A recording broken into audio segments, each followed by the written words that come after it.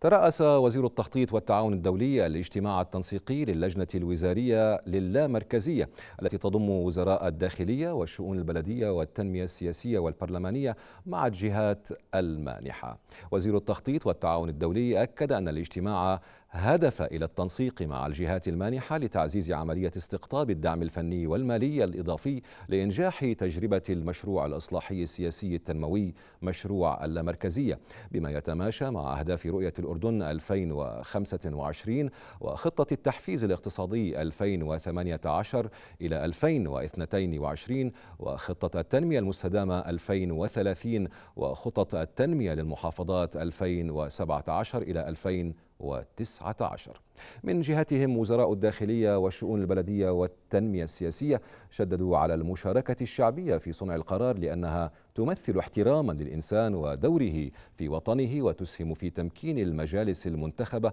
من القيام بالدور المنشود منها خلال المرحلة القادمة.